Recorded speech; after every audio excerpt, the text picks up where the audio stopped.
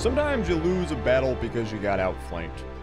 Sometimes you lose a war because you got ground into the dust by attrition. And sometimes you lose an entire continent because your generals are bad at coordination and you suck at camping. Welcome to No One is Competent, the premier history and comedy show about why generals are bad at generaling. Generalship? General works? Who gives a shit? They do, so I don't. Everyone who's ever been in charge has generally been bad at their jobs. That is our motto here, at least worse at their jobs than you are at yours. I'm sure you're quite good at your job, and I'm glad you're here with us today. My name is Azalea. I've got my buddy Jay bringing us a tasty script today. If you want to find us, you can do so on Twitter at Azalea Wyatt and at Jaehaerys48. Remember, there's a lot of A's in that name. If you want to email us, you can do so at no one is competent at gmail.com. I check that most days. And remember, we are currently doing a promotion. If this podcast gets to a thousand subscribers on our YouTube channel and 50 ratings on Apple Podcasts, I will do a episode where I strain my liver to the maximum. I, we will get at least six drinks in, if not more. Like, I will become completely insufferable. Jay will be in immense pain and suffering, and it will be extremely entertaining for all y'all. Our music is done by the legendary Sam Bryce. The only thing I have left to do on this podcast intro, which I am nailing by the way, because I am a fucking professional, is to say, Jay, how are you doing today? I'm doing quite well, thank you. Um, how are things going for you? I'm I'm fucking awful. This is like the standard Azalea setup. I'm I didn't get my full workout done before the it was time to record podcast. Like I do the other half afterwards. I'm eating. I'm watching Melee and another. T- just out of curiosity, Jay, how many Google Docs do you think I have open in my computer right now? Docs or tabs? Tabs of Google Docs. Uh, five. Seven. Okay, close enough. I have just just the one, and four tabs in total at the moment. How? I mean, when was the last time you had four tabs open? Did you hit rock bottom and do like a major purge recently? No, I usually close a bunch of stuff uh, whenever we're recording. Oh, that's sweet just makes it easier if I have to like find stuff, you know, I'm not paging through 50 tabs to find a source or whatever. What is your like standard like first tab? I don't like what's to the far left? Mm, I don't necessarily have a standard one. Usually it's probably just YouTube or Twitter, I would guess. Well, that's deranged.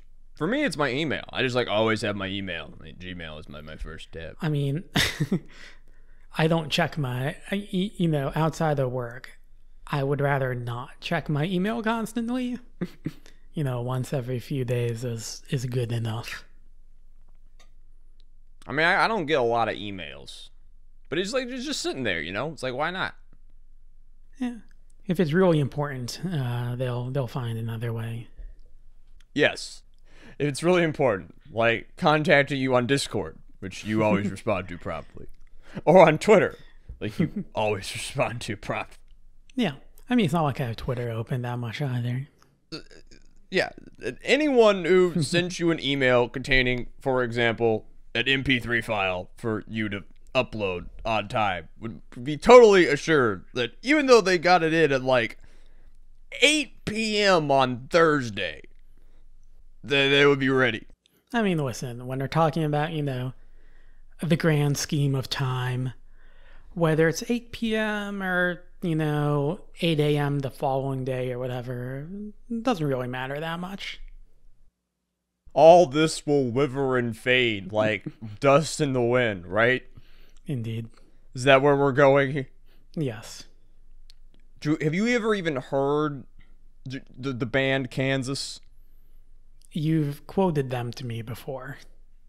No, I don't talk about Kansas often. That was a different band that you're getting this confused with. Yeah, whatever. So, what's our topic for today? Yeah, so today uh, we are talking about the Battle of Saratoga, or Battle. Finally, during the American Revolution. Yeah, uh, it's Kind of uh, weird it's taking us this long to It's been a while. get to it. I mean, you know, you're American. I'm American. I would guess the majority of our listeners are probably American. That means we all learn like the basics in school, and Yo, all of our me, Venezuelan and Czech listeners, send us emails. yeah, at least for me, that means that like the American Revolution for most of my life has not been something I've been interested in, just because it's like it's the bog standard history I learned at school, and that does it a bit of a disservice because it there actually is a lot of interesting stuff that goes on, including what we're talking about today, but like, you know, it's not the first thing that comes to mind when I think of interesting history topics, which is a, a great way to to lead this episode with. like I'm really interested in like Boston street fighting culture of the day. Um, I'd like to do some research into like Mad Anthony Wayne. He seems like some a, a character from the period that I like. Um, but yeah, it's like when it's like the first thing you learn about in American high, uh, like fourth grade social studies. Yeah. so you're just like, yeah, it's the normal thing, aka the boring Yeah. thing. exactly. Um, So what are our sources? Our sources for today are Saratoga, 1777, Turning Point of a Revolution by Brendan Morrissey, British Disaster at Saratoga by David A. Morris from Military Heritage magazine, and Sir William Howe, A Study in Failed Strategic Leadership by Colonel Brian Joseph McHugh of the U.S. Army. Now you know that Jay is a Yankee because he sees the word heritage and like alarm bells don't immediately just start screaming in his brain. Listen, that's, uh, we're not talking about that war just yet.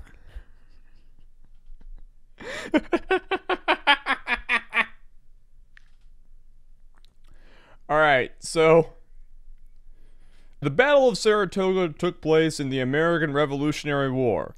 Why did the American Revolutionary War happen? Well, we're not gonna fucking tell you. Listen, like we just got into it, especially if you're American, the Revolutionary War is like the most covered topic in history.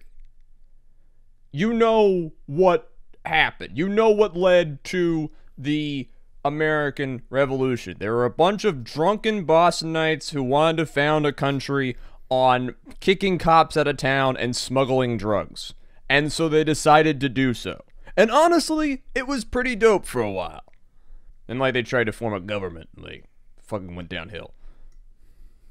Yeah, pretty much. You know, it's something where it's like, it's such a part of the mythos of the country that you've all heard, you know, Boston Tea Party and massacre and, you know, Paul Revere and uh, and everything like that. It's if you really want to know more, there are a lot of. It, it, this is a very well covered topic. You can find a lot of good information on the American Revolution very easily. Um, so we're just gonna go to the war. And what you need to know for the war, if you're not American, understand that there are some non-Americans who do listen to this, and it might kind of suck for them. But what you need to know is that you have the 13 colonies in British North America that are trying to become independent. They're pushing for their in- independence for a whole reason of political and economic reasons. And this war really begins around April of 1775 with the battles of Lexington and Concord in Massachusetts. The early phase of the conflict would see simultaneous uprising by militia forces across the 13 colonies, and British forces throughout North America were basically just dispersed in a bunch of small, lightly manned garrisons at this point, which makes them very easy target for the rebels. I mean, they're literally wearing red coats. Yeah. This is a good target. Yeah. The situation's so desperate that, you know, the city of Boston itself comes under siege almost immediately. Now, a month after Lexington and Concord, the Second Continental Congress, which is a legislative body formed by representatives from all the different colonies, convened in Philadelphia. This body set about establishing both a new government and a new military for the fledgling rebellion. The Continental Army was formed out of the various militias around Boston, and a bunch more would later be merged in, and George Washington was selected as the commander in chief. One thing I'd like to mention just off the bat is a thing that's heavily forgotten is that when, and you might not know about if you're not an American listener, is like when the quote colonies rebelled rebellion was not like the overwhelming political opinion of colonists. There were thousands of people who wanted to remain uh, loyal to Britain and who would fight to do so. And there were thousands more who were just like, ah, whatever, I just want to like till my land on my farm. You assholes can do that over yeah. there. It was yeah, not there like are, there are a lot of neutrals. A, a unanimous uh, outcry of freedom. Yes, very much so. Now, the latter half of 1775 and beginning of 1776 would prove to be a fruitful time for the revolutionaries. Much of the countryside is seized by rebel forces, with New England, New Jersey, Virginia, and North Carolina proving to be hotbeds of revolutionary fervor. The Continental Army invades Quebec, campaigning up Lake Champlain and the St. Lawrence valleys and seizing Montreal in November 1775. And by March of 76, the British are forced to evacuate Boston and regroup in Halifax. Basically, almost everywhere it seemed that the British were on the back foot. Now, on the 4th of July, 1776, the formal Declaration of Independence is ratified by the Continental Congress. That means that up until this point, a reconciliation with the crown was still technically possible, though very unlikely. There was a um the olive branch letter, right? Yeah. Like there Yes. it was uh, somewhat popular for the first year that like this would all kind of get kiboshed. Yeah, that, you know, we'll reach some sort of deal, we'll get autonomy, you know, whatever. Absolute independence was not necessarily like what everyone was pushing for. Because a lot of people didn't even think it was possible. Yeah. From this point onwards, though, the intent of the colonies was clear complete and total independence from Great Britain. Overnight, these colonies became the 13 United States of America. Now, as a note, for the sake of convenience, I'll be referring to the colonists, the revolutionaries, patriots, whatever, just as Americans for most of this episode, just because it's easy. I know that there'll be some people be like, oh, well, that's kind of misleading, or you should use a different term, or this or that. I'm just going to call them Americans. If you complain, you're a bad person. and the British, however, were not so keen on seeing these colonies slip from their grasp so easily. They had been caught off guard, to be sure, but in their eyes, the rebels were just a largely disorganized rabble that simply managed to take advantage of British complacency to win their early victories, which, to be fair, is somewhat accurate. Yeah. A proper military response would put down the rabble and restore order to North America.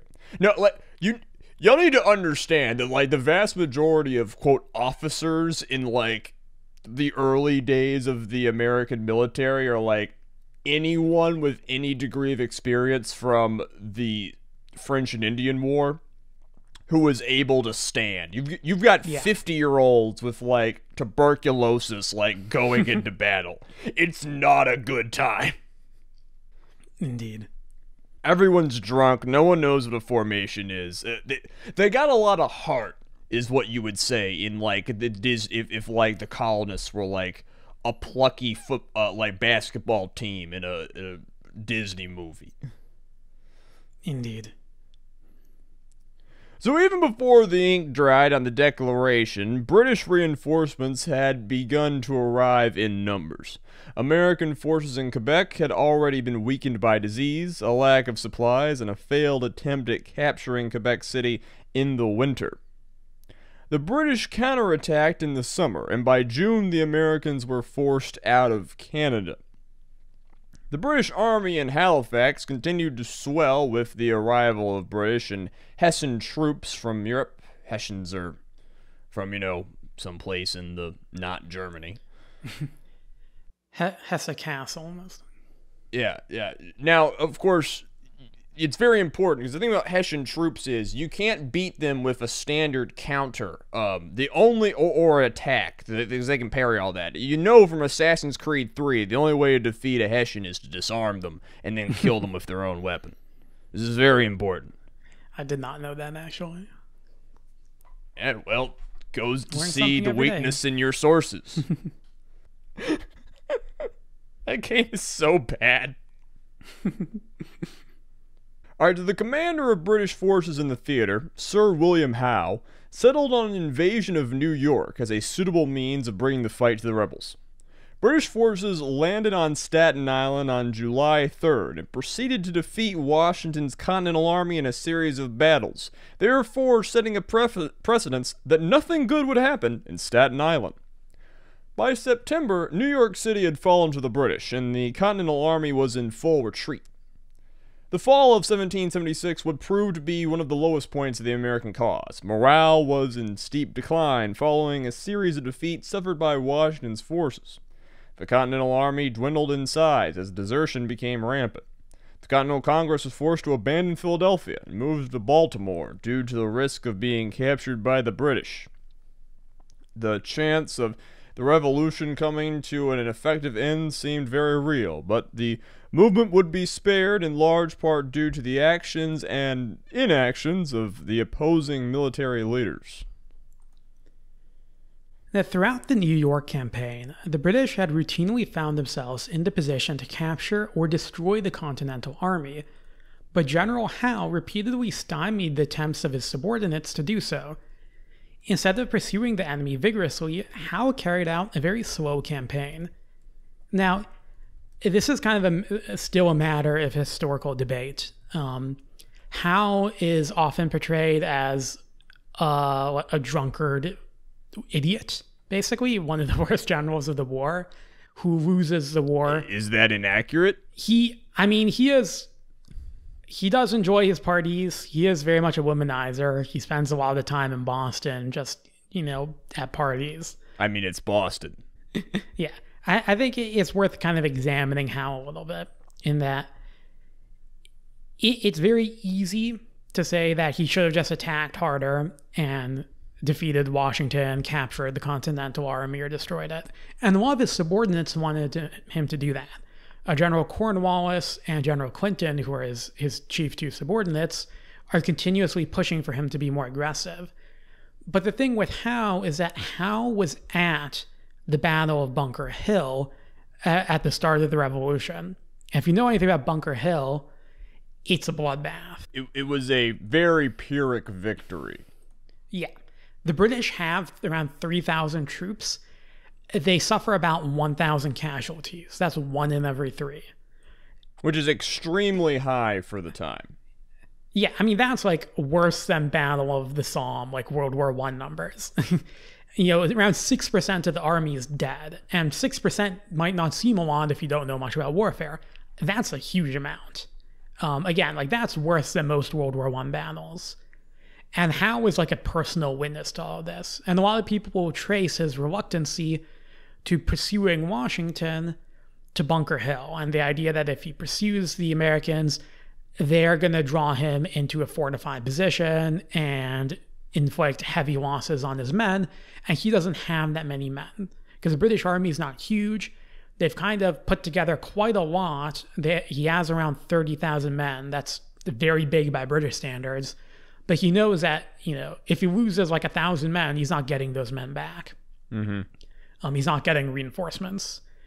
So I, I think that's kind of the deal with Howe. I do think he's not a good general. I think he's overly cautious. Reminds me of McClellan a little bit from the U.S. Civil War. Um, I think sometimes you have to be bold and, and daring and you know risk the, the, lives of your men, especially in this time period, to be an effective general. And he maybe doesn't have that ability. Um, but I don't think it's because of pure stupidity. Anyway, so that's my uh, spiel on Howe. Uh, so, anyways, uh, General Washington, for his part, made a bunch of errors throughout the summer and fall of 1776. He had often handled his army very poorly and had been outmaneuvered by the British. I mean, this is a man who literally was handed command and said, "I do not think I am. Uh, I, I I can like meet the moment." Yeah, like as a pure tactical commander, Howe is better than Washington. I think most people would agree with that. You know, Howe will never lose a battle, arguably, in the American Revolution. He, he's a very good battlefield commander, and Washington isn't. But Washington is a quick learner and he develops a skill for extricating his forces largely intact from these battles. The master of retreat. Yep. This, combined with Howe's caution, prevented the total destruction of the Continental Army. Washington was eventually able to retreat to Delaware, concentrate his strength, and launch probing attacks at the British at Trenton and Princeton. These battles were relatively small and of little immediate importance, but they served to boost American morale before the major campaigns of the coming year. If you've seen the painting of Washington crossing the Delaware, that's the Battle of Trenton. Yes, the guy on the dollar bill's greatest strategic move was getting his boys up in the middle of the night and slitting German throats on Christmas morning. yeah. It's very heroic. Indeed. Still, even though the morale had been buoyed, uh, the Continental Army was still in need of significant aid if it was to survive. The army was running severely low on gunpowder and other key supplies. Both the Spanish and the French were willing to trade with the colonies, but Congress had basically no money to pay them with. A direct foreign intervention was increasingly seen as necessary, but the powers of Europe remained reluctant to get embroiled in such a risky war. You know, you don't want to back a, a losing cause. So the early months of 1777 saw relatively few battles. The defeats of 76 had convinced Washington that head-on confrontation with the British Army was to be avoided unless the conditions were highly favorable. For the time being, the Americans would instead focus on raids and skirmishes designed to disrupt British supply lines, deny them forage, and isolate Loyalist forces. The British, meanwhile, were preparing for a new offensive. The shape this offensive would come to take would be largely determined by an individual who at this point played a more subordinate role in the war Lieutenant General John Burgoyne. John Burgoyne was born in 1722 to a relatively minor aristocratic family. He went on to have a fairly standard upper class education and purchased his first commission into the cavalry at the age of 15. Wait, wait, wait. What do you mean purchased his commission? How the fuck does that work? So here we get into one of the uh, the fun things about the British Army at this time period, which is that it was the norm for officers to buy their commissions. You know, if you're a civilian and you want to be an officer, you pay a bunch of money and you become a captain or a colonel or a major or whatever. And it needs to be clear that, like, historically speaking, buying your job into a government bureaucracy was relatively common going back to Roman times. Yeah.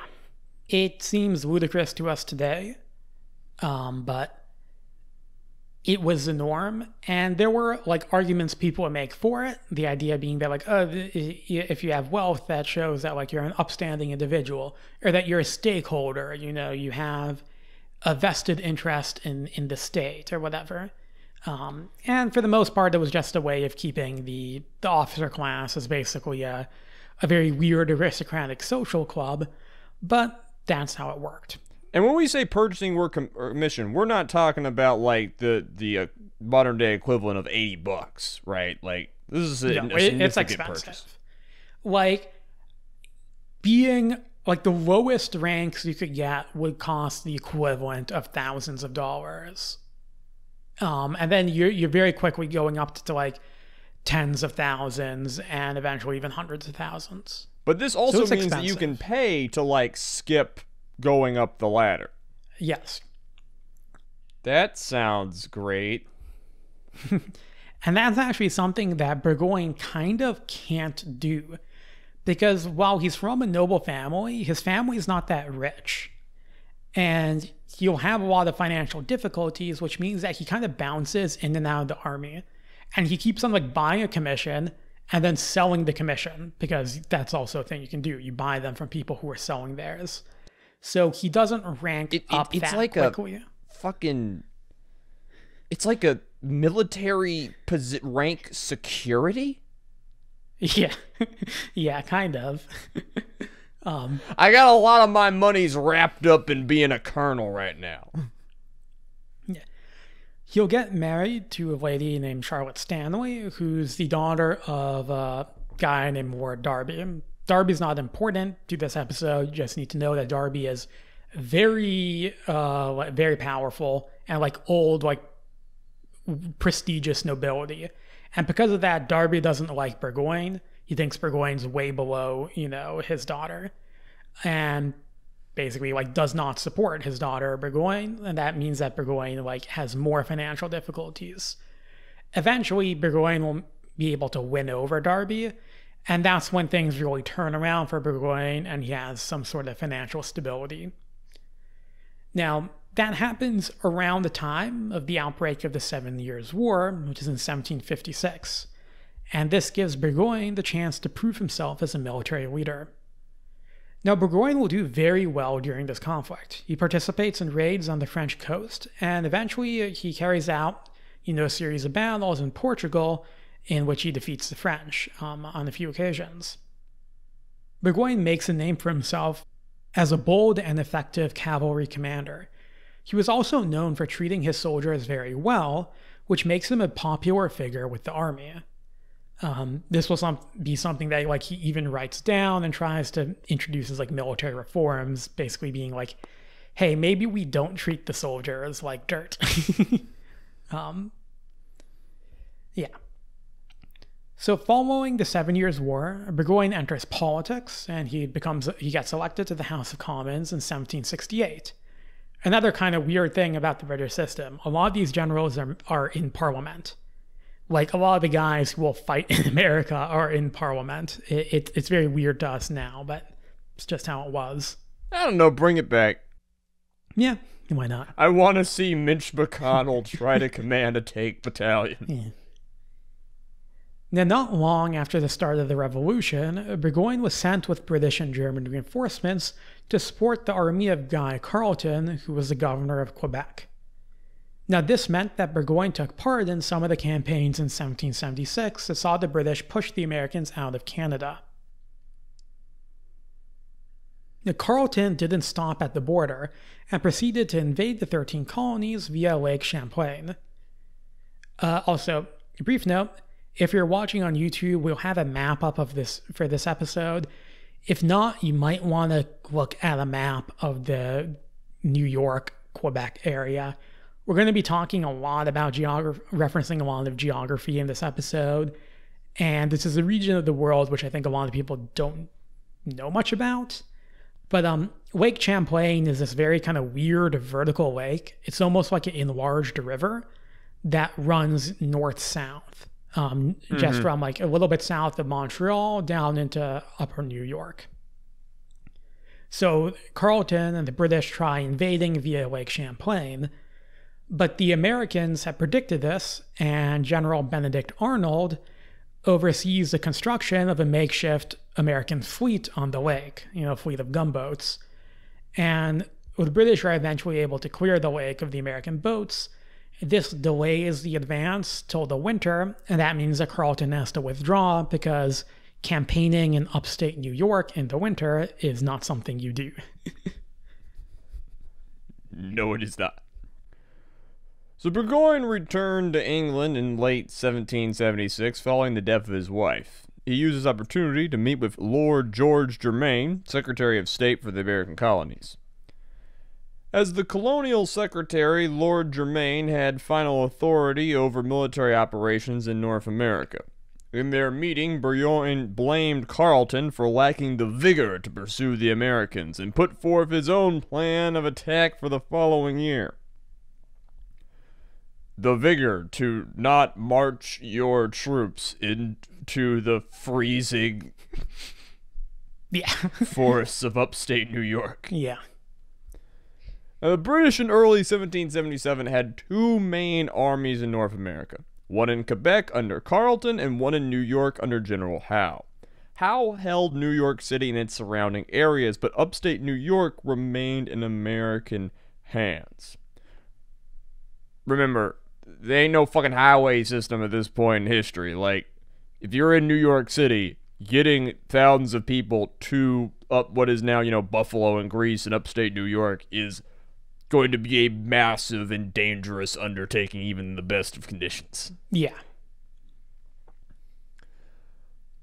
And you would be weakening New York City while you're doing it. So Burgoyne proposed that he be given command of the army in Quebec and use it to advance south into New York along Lake Champlain and eventually the Hudson River. Howe would in turn move north along the Hudson with his men. The two forces would meet in Albany. A third, smaller force under General Saint Leger. I have no idea how the Brits would pronounce that name, so I'm just going to guess and say Saint Leger. Would be sent down to St. Lawrence River to Lake Ontario and then advance on Albany from the west as a diversion. Now, Burgoyne's goal was not merely to capture New York. By joining his force with Howe, the British would effectively cut New England off from the rest of the 13 colonies. British leaders viewed New England as the primary source of rebellion, and thought that if the region could be isolated, then the rest of the colonies would be easy to pacify. The corridor between Montreal and New York City seemed like the perfect opportunity to do so. Unbeknownst to Burgoyne, however, General Howe spent the winter of 76 and early 77 coming up with his own plans. Instead of prioritizing upstate New York, Howe wanted to advance on Philadelphia and capture the city and possibly force the Continental Army into a decisive battle. Now, even though these two generals are both based in North America, the job of coordinating their actions would fall upon Lord Germain, who's back in London.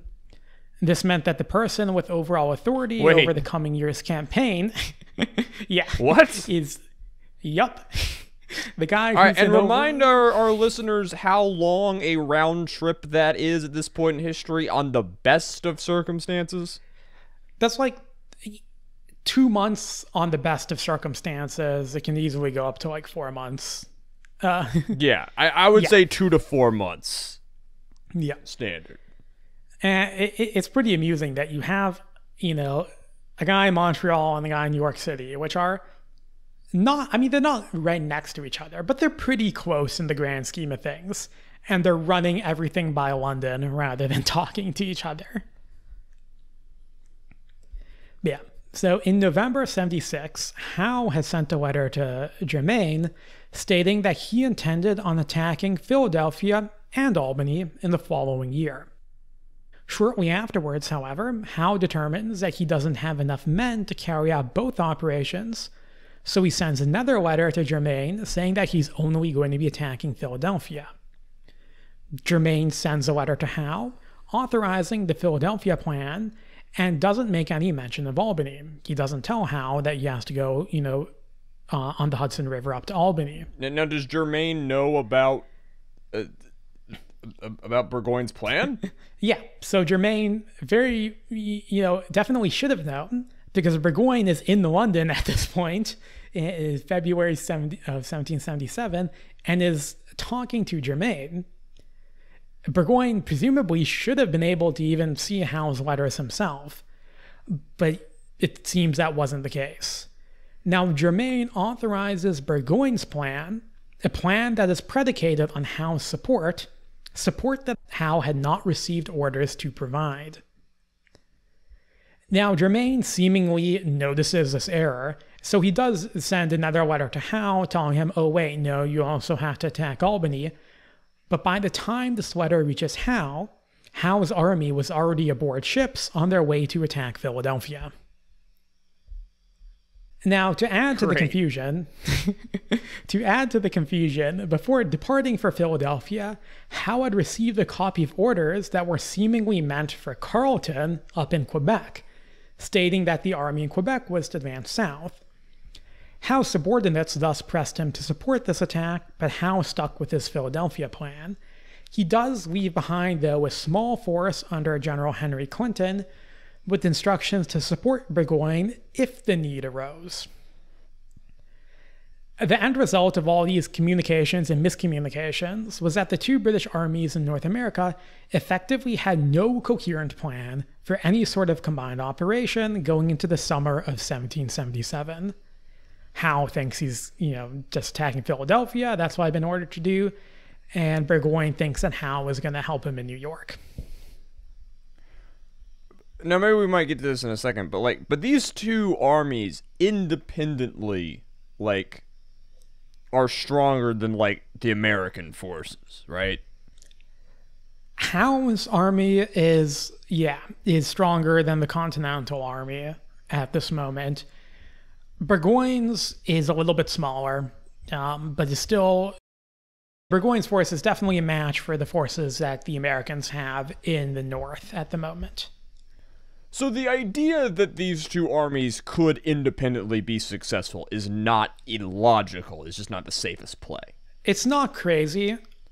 I think a lot of it stems from the fact that Lord Germain has no experience at all campaigning in North America. He does have a military background, but it's solely in Europe.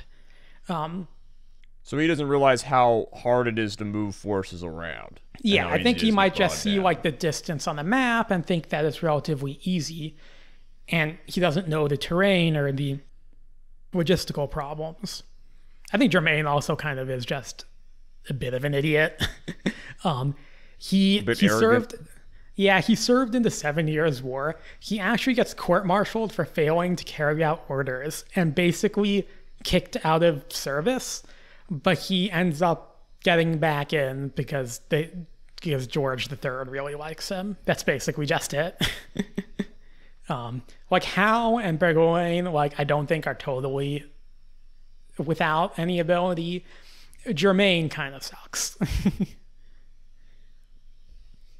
All right, so the lack of any coherent planning on the part of the British did at least mean that the Americans had a little idea of what their enemy was planning. General Washington predicted that Howe would attempt to either advance north along the Hudson or attack Philadelphia.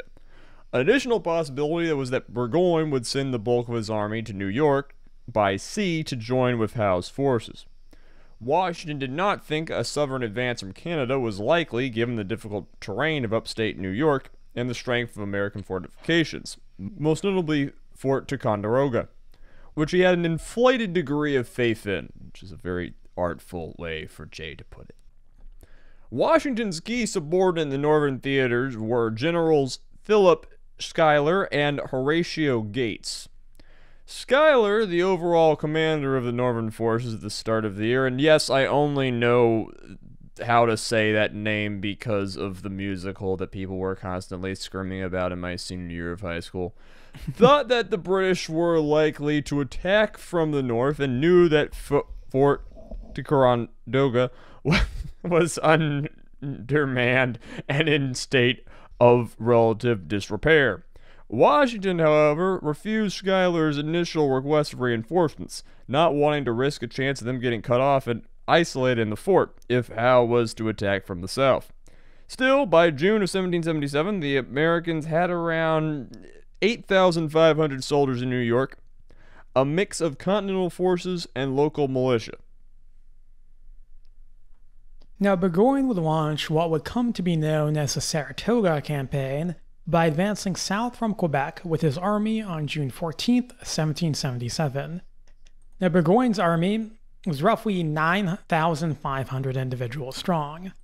This included 4,000 regular British soldiers, 3,600 Hessians, 500 artillerymen, 600 Loyalist and Canadian militia, and 500 Indian allies who were mostly from the Haudenosaunee Confederacy, as well as 300 support personnel. The Haudenosaunee are the Iroquois. That's how they're commonly called in like most historical textbooks. I'm reluctant to use Iroquois because apparently that's actually not how they like to call themselves. That is inaccurate.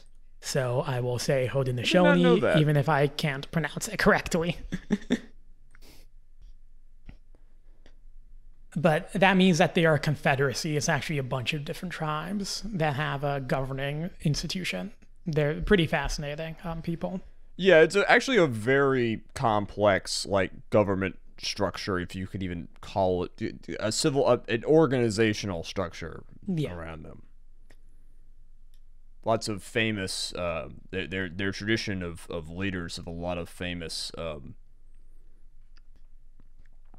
uh, chiefs who are like like known for their oratory skill and their ability to to get people together and to work together and to settle differences uh, yeah. bloodlessly, sometimes with a little bit of guile. It's kind of celebrated in their tradition. Now, as the amount of artillerymen indicates, Burgoyne brought with him a large amount of artillery, 138 guns in total. Burgoyne thought that the Americans would be reluctant to engage in open battle and would instead focus on defending fortified positions. Not dumb. Yeah, so the cannons are basically there to prevent a repeat of Bunker Hill. It's also worth noting that Burgoyne has effectively no cavalry. There simply weren't enough suitable horses to be found in Canada. This despite the fact that he was trained as yeah. a cavalry officer. Yes. This is a cavalry Bad officer leading an infantry army. What's the worst thing that can happen, Jay? Yeah. Indeed. So the first part of Burgoyne's journey goes pretty smoothly. And this is because rather than having to march over land, his army is able to just go down Lake Champlain by boat. And they land a few miles north of Fort Ticonderoga on the 1st of July. Now, meanwhile, General Saint Leger has begun his advance, intended Does as, he know what the other two are doing? Yes, I mean Saint Leger gets his orders, um, and so he he knows at least what Burgoyne is doing. Um, so St. Leger sails down the St. Lawrence River, uh, and that goes into Lake Ontario, and then he lands in Fort Oswego and begins to march inland towards the Mohawk River. Now, this means that he's marching kind of from the Great Lakes eastwards towards Albany. St. Leger's force consists of roughly 700 British, Hessian, and Loyalist militia soldiers, and they're joined by another 800 Haudenosaunee warriors. Now, the first major confrontation of the Saratoga campaign would take place at Fort Ticonderoga. Ticonderoga was a well-known fortress, having been built by the French in the 1750s, and then strengthened by the British following the French and Indian War. It lay on the southwest bank of Lake Champlain and guarded a bridge that crossed a narrow point of the lake at the eastern bank. Remember, Champlain is a basically wide river. As of July 1777, it was being held by around 2,200 men under the command of American General Arthur St. Clair. The British siege of Fort Ticonderoga began on the 2nd of July.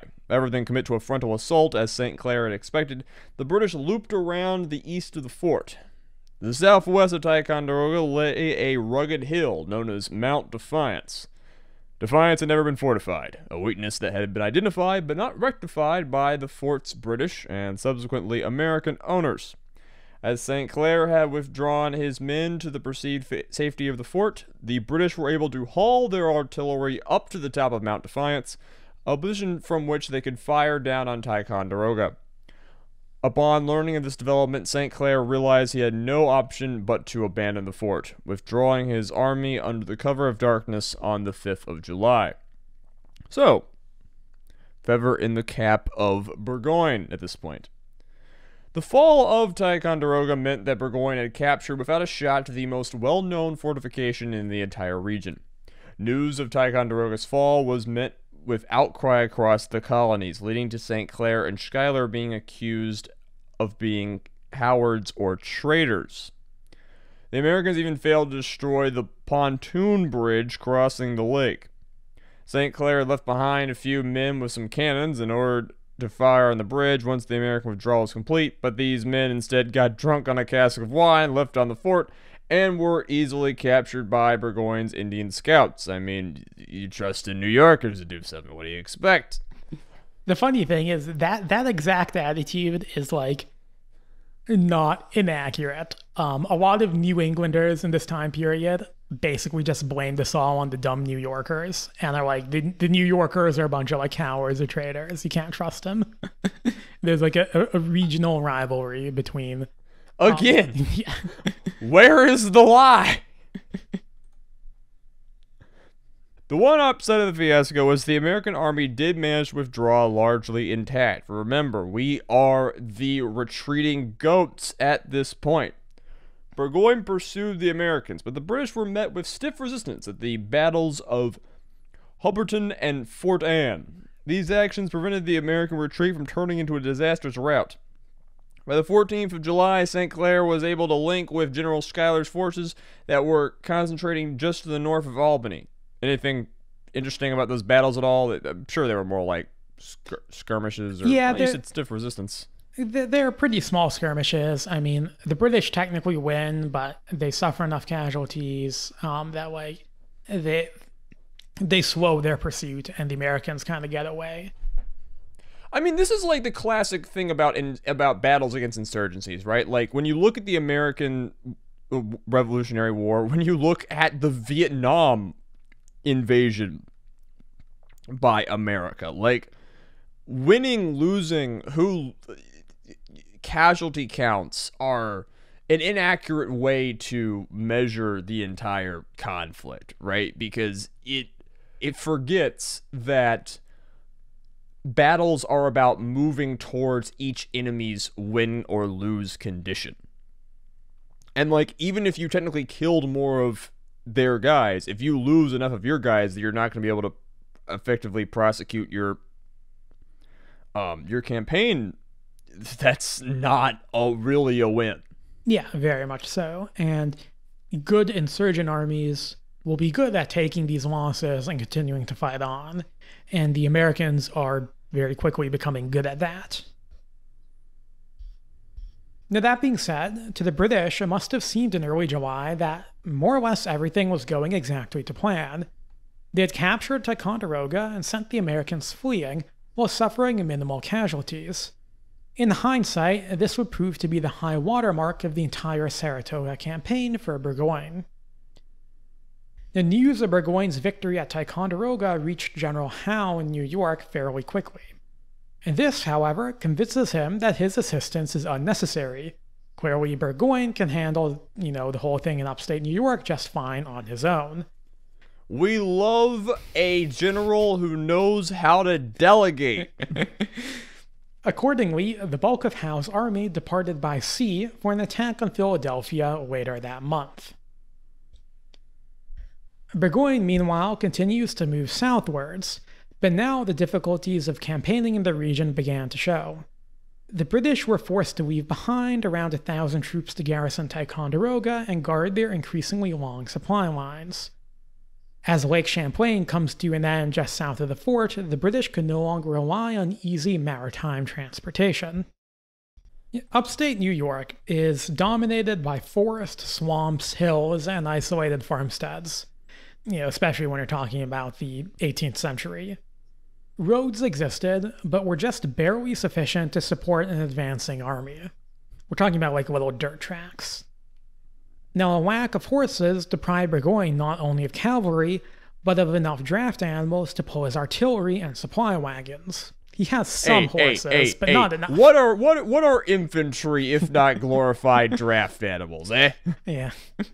Um, actually, in, the uh, in, in the siege of Ticonderoga, one of Burgoyne's subordinates, um, General Philip, uh, when he's telling his men to drag the cannons up Mount Defiance, basically says that wherever a goat can go, a man can go, and wherever a man can go, he can drag a cannon. Honestly, kind of love it. I mean, hey, like, it it's worked. a dick move, but I kind of love it. it worked. Yeah. So, yeah, the British don't have that many horses. And to make things worse, a lot of their wagons were built basically very quickly before the campaign, and this means they're constructed out of unseasoned wood, and they're generally two wheel rather than four wheel designs. And basically, just Oh no.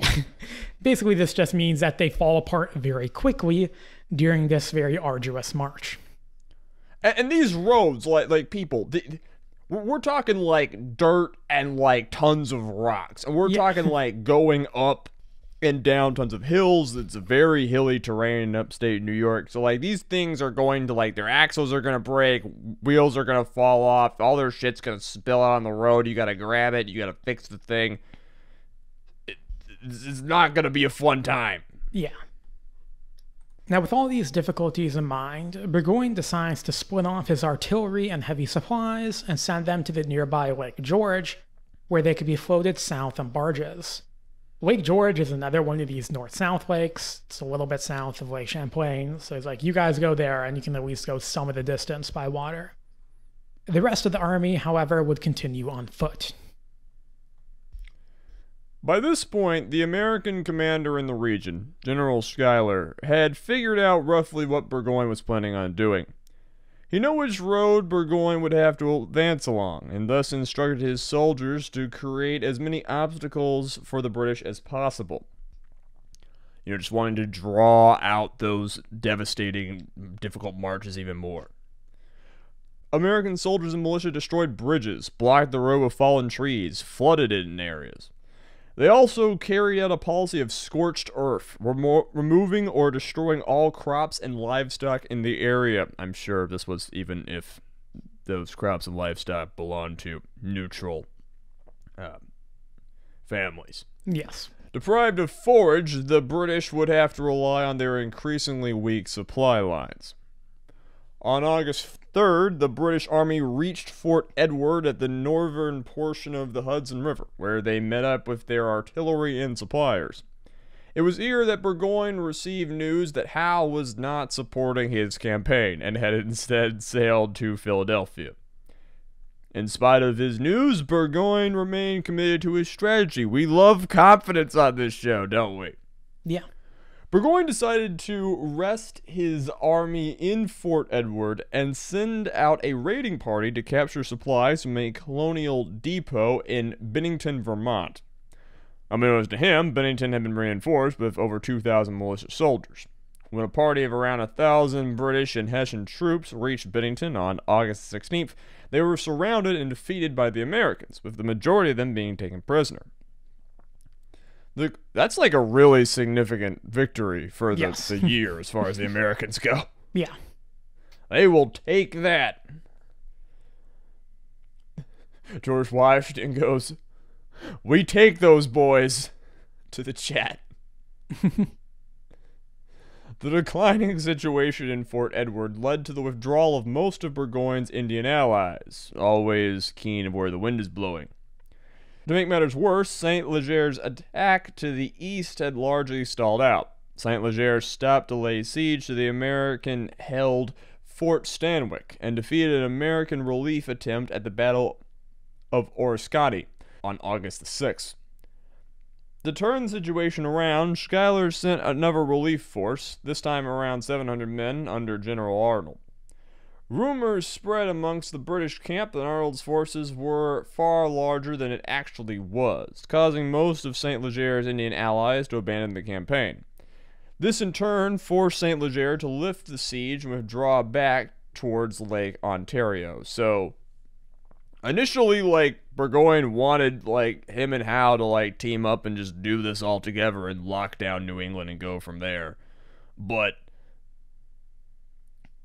then that didn't work out because having to go through London. But now even the smaller backup force is unavailable to him. Is that, that what I'm s- seeing? Yes. That's exactly the case. But he still has a numerical advantage at this point. Yes. Now, Schuyler had successfully slowed Burgoyne to a halt, whittled down his army, and forced St. Leger to retreat.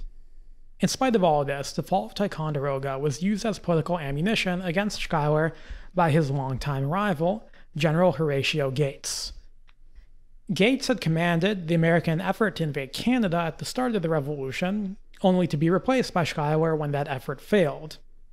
Now, Congress ordered Schuyler to be relieved of command and sent Gates as his replacement on August 19th. And like that'll work out pretty well for Gates if I remember my history, right? Like he's a far more remembered Yes. figure. Yeah, he, he is far more famous. Now, alongside Gates came reinforcements that brought the strength of the American army in camp north of Albany up to around 10,000 men, meaning that now the Americans outnumber the British, whereas previously had been the reverse. The Gates, like Schuyler, realized that Burgoyne's intent was to continue south towards Albany. With reinforcements in hand, he determined that the Americans were now in a position to offer a battle to the British. Gates also inherits much of Schuyler's staff, including the skilled Polish military engineer Colonel Tadeusz Kosciuszko. Kosciuszko had been responsible for directing a bunch of the Scorched Earth campaign against Burgoyne, and now he would play another role by selecting a defensive position for the American army to occupy, an area of high ground known as Bemis Heights, roughly 20 miles to the north of Albany and 8 miles to the south of the town of Saratoga. this is one of like the cool few cool like things about studying the American Revolutionary War is like all of just the random Europeans who show up and Yeah, often end up like flourishing. Yeah, very much so.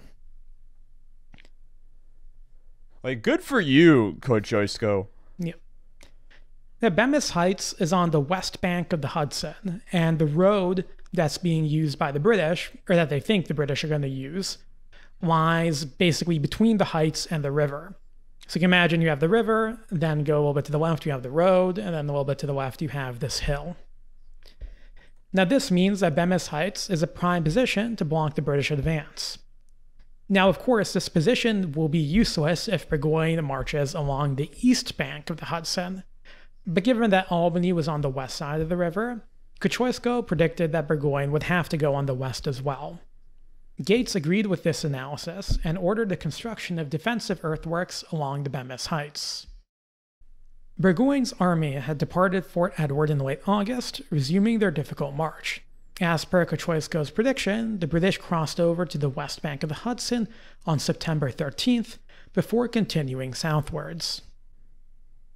Which I'm sure was a difficult, arduous, Yeah. wet, and miserable process. Yeah.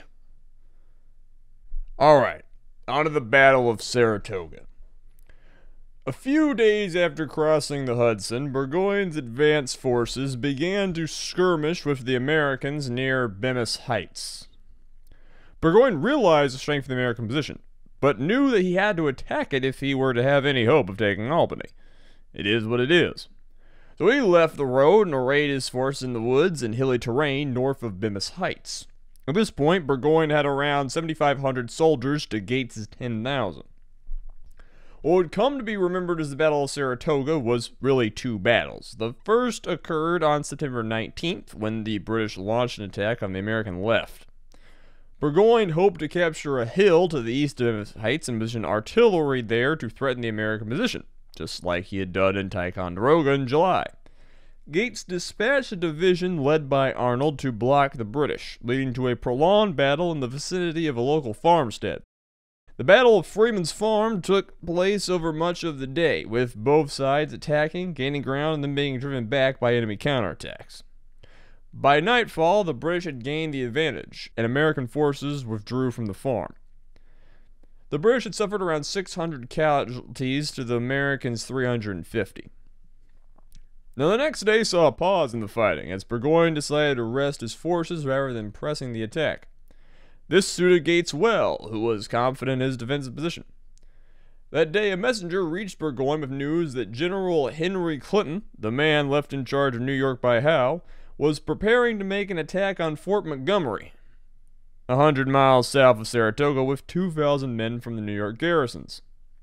Elated with the prospect of finally receiving support from the British Army in New York, Burgoyne decided to wait in hope that Gates would be forced to split off a portion of the American army to deal with Clinton. In the meantime, the British would construct a series of redoubts, temporary field fortifications, to show up their line. So, like, he's basically just like going to sit there and hope that the problem is taken away from him. Yes, basically. Meanwhile, his opponent can continue to reinforce their already superior defensive position. Yes, and uh, and Cool. Gates is, and, and the American army is like growing each day because of militia arriving in the area.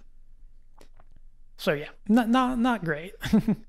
and Yeah, we we have really th- this would be I think my first like just full boneheaded move. Yeah. This period of hope would prove to be short lived. As the days dragged on, it became clear that Clinton's force was too far away to have any impact. Desertion increased as the British camp began to run out of food, their supply lines having been cut by militia forces. The, uh, the Americans kind of like swing around a little bit and attack on Lake George, and that means that like the British can't get any more supplies. The weather also turns against the British, with continuous rain turning the fields to mud. Um, there's stories about like the British after they buried their dead from um, the Battle of Freeman's Farm. The rain sweeps in and basically uncovers all the shallow graves, and they're forced to then like sit and stare at rotting corpses. So not very pleasant. Delightful. So basically, Gates's force is growing because militia keep on joining him, and the British force is sinking because people keep on deserting. This means that Gates quite reasonably decides that all he has to do is wait. Now, with his supplies running low, Burgoyne is essentially left with two options try to retreat back north or attack the Americans. He decides on the latter.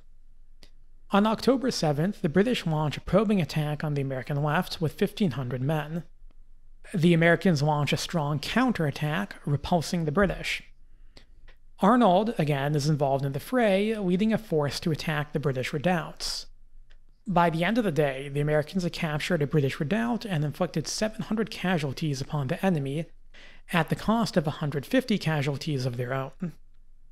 What are, what are these redoubts looking like? We're just talking about like some like wood palisades and like Yeah, maybe those like you know cross lashing big sharpened sticks of wood to let in, into like the X formations so like people can't get past or like yeah, yeah. You know these wood palisades, maybe some packed earth um, above the ground. You know, it's not a trench, um, but yeah, kind of like a basic uh, defensive position. all done with hand tools. Yeah.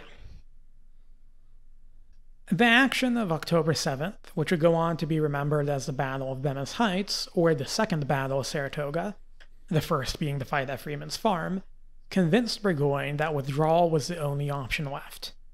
The British began their withdrawal the following day, marching north through the mud towards Saratoga. Gates pursued Burgoyne, and joined by other American forces in the area, he was able to surround Burgoyne by October 10th. With all of his options exhausted, Burgoyne requested terms for surrender. An agreement was signed on the 16th, granting lenient terms to the British. The British regular forces and Hessians would be disarmed and allowed to return to Europe, with the agreement stipulating that they could not fight in the war any longer. Loyalist and Canadian militia forces would also be disarmed and allowed to return to their homes. Burgoyne's surrender granted the Americans a windfall of prisoners and supplies. In addition to 6,500 enemy soldiers, Gates took possession of around 37 artillery guns, 4,647 muskets, and 72,000 cartridges. The terms Burgoyne and Gates negotiated at Saratoga, however, would not be carried out by Continental Congress, which viewed them as far too lenient. Congress instead declared that London would have to sign on to the surrender agreement. The British refused because they're doing the whole we don't negotiate with terrorists thing. And this means that the bulk of Burgoyne's army would spend the rest of the war in American prisoner of war camps. Burgoyne himself, as well, as well as other high officers, however, were released and allowed to return to England. like they almost always are.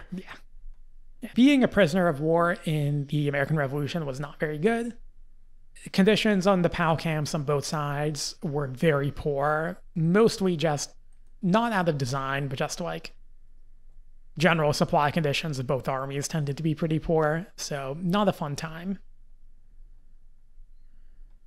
So Saratoga would prove to be one of the most important battles in the entire war. Not only had the British failed at isolating New England from the rest of the colonies, but the Americans had comprehensively defeated a large professional British army. The had already been considering formally supporting the Americans prior to Saratoga, with debate in Paris continuing between pro and anti war factions becoming increasingly tense. Two days after the news of victory at Saratoga reached France, King Louis XVI agreed to enter into negotiations for a treaty with the Americans. France would formally declare war on Britain in March of 1778, which would go totally great for them. Yeah. and not set up what is now what are we on seven or eight episodes in a series one of the fun things is that when the french arrive they bring like tons and tons of gold to you know just as like the continental army can pay their men. And like this is great for the continental army. Maybe not so good for the french treasury.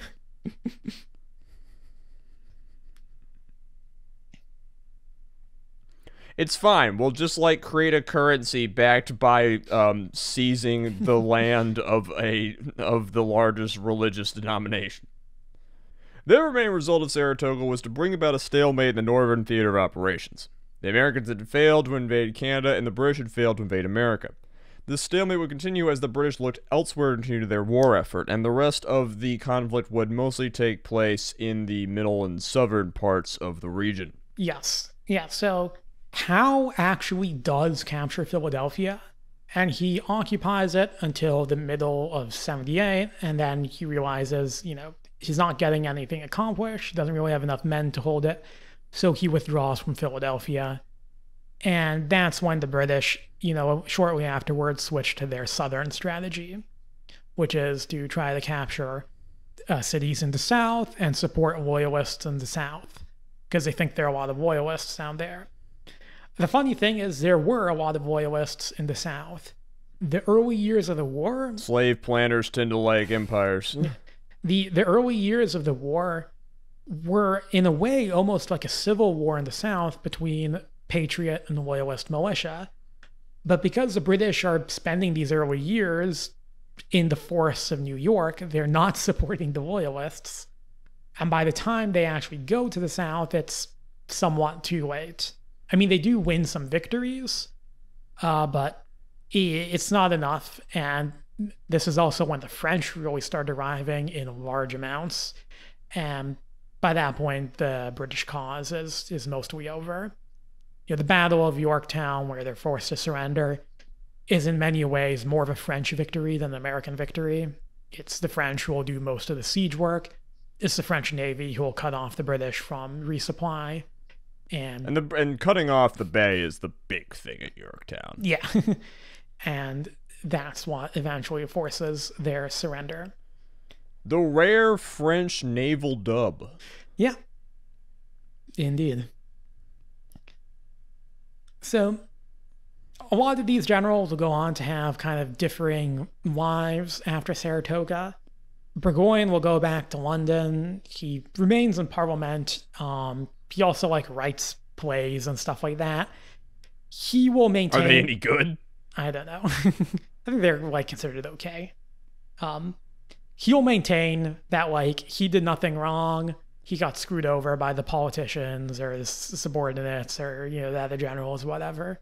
Um, it, he's he was a Tory before um, the war, but he kind of switches to the Whigs because the Tories blame him for losing and the Whigs kind of like buy into like oh like the government screwed him over thing. Yeah, well, Whigs are known for not understanding how history works, so that that does track. yeah. Um, General Howe will resign in in the following year and go back to go back to Britain. Um, he'll be replaced by Clinton and eventually Cornwallis. And Lord Germain will remain in charge of the British effort for the rest of the war, uh, for all the good that does. On the American side, um, Schuyler doesn't do much after this. Gates will use this victory to kind of intrigue against George Washington and try to promote himself as to become the leader of the Continental Army. This won't work. Horatio Gates is like kind of a he, he he's a good friend, bad enemy kind of Yeah. guy. Know, he's, Yeah. he's very um sharp character. Yeah, he, he's a bit of a schemer. Um, he'll get sent south during the uh, the British Southern campaign, and will lose to um, uh, Cornwallis at the Battle of Camden, and that basically ends Gates' military career. He won't do much afterwards. Um, though he will kind of get the credit for Saratoga because the other person who's associated along with the fighting is a guy named Benedict Arnold. Yeah, yeah, yeah. Okay, okay. So here's here's my question, because like the way I was taught all this shit in APUSH is that like the real genius behind Saratoga was Benedict Arnold, who like then tried to like ch- change sides in one of you know the the most you know 355 55 IQ is actually 35 IQ plays in history. But this guy's like barely come up in the entire episode. Yeah. Are you telling me that Mr. Dudley lied to me, Jae? I think Arnold, Benedict Arnold went through like a weird historiographical swing where, like, you know, he goes from being like the standard go to name for a traitor and a horrible person in America to then people being like, oh, maybe he was actually good, or like he was smart, or he was a really good general. Maybe he was better than George Washington. I think people went too far in that direction in overappraising his role or his abilities he is a very good tactical commander. Um, I didn't talk much about like What the was his individual. role? Was he like under Howe? Sorry, sorry, uh, sorry. Was was what was his role? Was was was, was he under Gates? Yes, he's under Gates, and basically when the Americans are fighting in um, Freeman's Farm and Bemis uh, Bemis Heights, he's like the general who Gates sends out in Freeman's Farm to lead the American forces actually like in that skirmish. Well, Gates is sitting in the rear. So you can imagine like Gates is kind of the guy sitting back in camp directing things. Arnold's the guy He's on the the one front getting line. things done. Yeah. And he's very good at that. He is a very good tactical commander. He's a very brave individual. And he's the one who is like individually like leading men into battle. You know, when people are kind of retreating or running, he's getting them to to calm down, to reform and regroup and go back on the attack. So he does a lot of that at Freeman's Farm. Uh, Gates does not like him. he and Gates have a hatred because like officer corps in like both the British and American armies are these weird like social clubs and everybody either loves or hates each other. Um so Gates like tries to dismiss Arnold after Freeman's farm, but like doesn't actually do it. And then Arnold again at Bemis Heights is one of the guys leading the American, like leading the charge on the ground. So Arnold does definitely play a role. That being said, I think the idea that Arnold's a strategic genius and he has the credit stolen from him because he's a traitor afterwards is is misplaced. Um, Schuyler and Gates both knew what they were doing. Both had pretty good strategies. Um, Arnold is in large part responsible for carrying these strategies out, but he's not the genius. He's not like the Napoleon figure here. And for those who, again, aren't American, I know we're assuming everybody's kind of American when we're when you're talking about this. Benedict Arnold will turn traitor because he basically is just angry at Congress. He thinks that his subordinates are getting promoted above him. He's not getting his due, whatever. He will enter into secret negotiations with the British and switch sides. And because of that is uh, a despised figure in American history. Yeah, when I look at this campaign, you know, one of the things that reminded me of was a question you had asked me in one of our previous episodes on the Napoleonic Wars, where you asked me, like, how good are the British? Because I joked earlier that, like, the British Army wasn't very good. And I think this, even though this is, you know, a few decades prior, kind of shows what I'm getting at. Is that the British are good on, like, the individual, on small unit level, but their system for conducting large land wars is very lacking. just idiotic. Like Yeah. like first they were like re- you know relying on this non-meritocratic system, and Yeah. and then like ha- uh, I, I know this this might be too hard a question, but like. Do, do they keep like doing this this this thing where like all orders have to be run like through London for like the rest of the Revolutionary War or for like other wars? Like this is just They this get is just ridiculous. they get a bit better at it. Um, but yeah, it, it's a pretty ridiculous system. It really stems from the fact that they underestimated the strength of the opposition and underestimated the difficulty of the terrain and, of campaigning in North America. And like their leaders don't have a good appre- appreciation for the strategic side of warfare.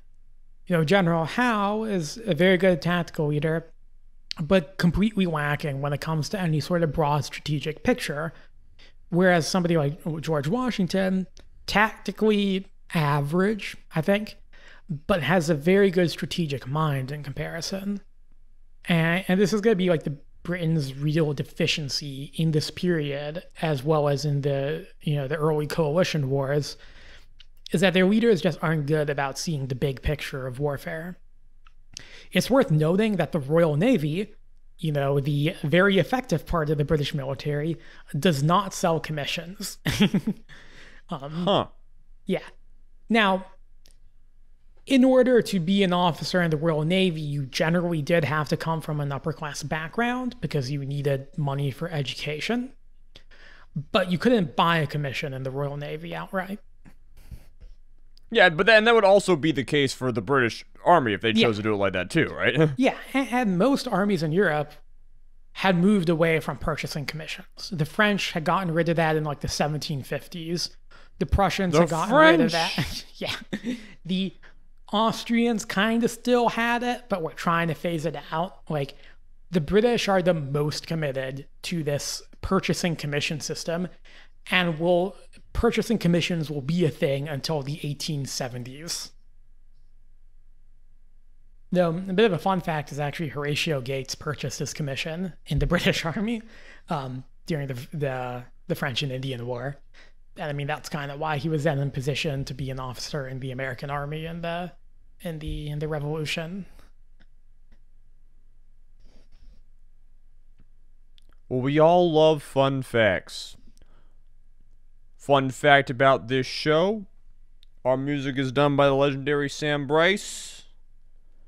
If we get to, once again, 1,000 YouTube subscribers and 50 reviews on Apple Podcasts, we will do an episode where I am drunk off my gourd.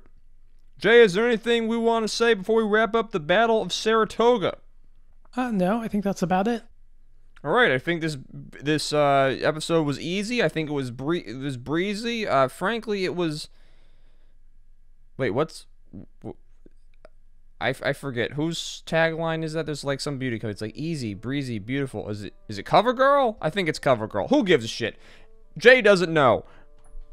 Anyway, I hope y'all have a beautiful day wherever you are. Uh, just remember, um, pain is temporary, uh, gain is forever, and um, if you play e5, knight f3, uh, in chess in response to the Caro-Kann, um, you're a fucking degenerate who should jump off a bridge. Um, and that's all I got to say about that. All right. Podcast is over. Goodbye.